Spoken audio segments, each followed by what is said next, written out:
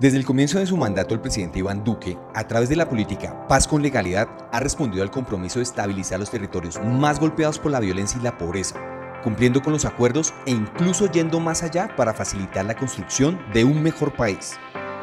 Pude también dialogar con la doctora Mogherini y además agradecerle el papel que ha jugado la Unión Europea en lo que nosotros llamamos la construcción de la agenda de paz con legalidad, para que las personas que genuinamente están comprometidas con la verdad, la justicia, la reparación y la no repetición, avancen exitosamente en el proceso de reincorporación, que podamos llegar a los lugares del país que fueron afectados por la violencia con los planes de desarrollo con enfoque territorial. Y desde luego que nosotros podamos seguir cerrando brechas en muchas de esas regiones. El gobierno ha manifestado explícito cumplimiento en cada uno de los puntos de la implementación del acuerdo que le corresponde, generando una planeación seria y de largo plazo con ejecución acelerada y robusta.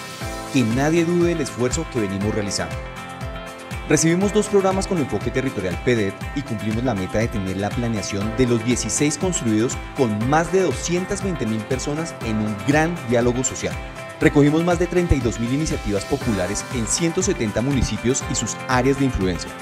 En estos meses focalizamos para estas iniciativas el OCAT Paz, las inversiones de obras por impuestos y hay compromisos por más de 500 mil millones de pesos que permiten a la empresa privada pagar la mitad de los impuestos de renta en requerimientos de las comunidades.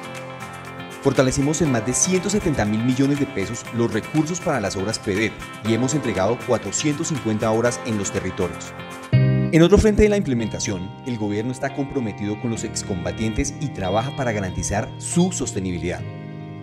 Un censo reciente estableció que el 76% de los excombatientes es optimista sobre el futuro, gracias a las acciones del gobierno para ampliar el acceso a servicios fundamentales.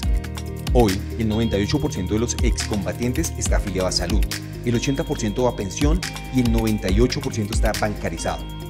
Renovamos la provisión de alimentos que había terminado en diciembre, prorrogamos el apoyo financiero y hemos llegado a 29 proyectos productivos colectivos y 365 individuales aprobados.